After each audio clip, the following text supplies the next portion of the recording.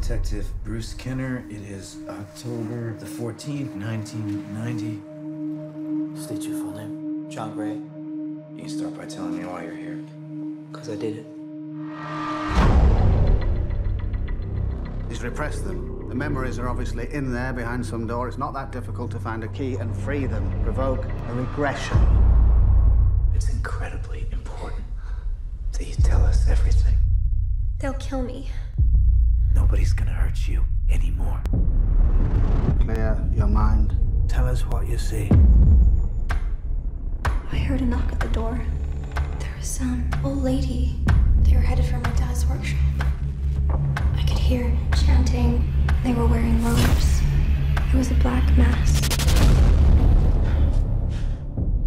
Now they'll kill you too. An FBI report. This could be huge, Bruce. I think they were following me. Do you have any idea what we are up against? It just gets a feeling with this case that it's a part of something bigger. Hello? Who is this?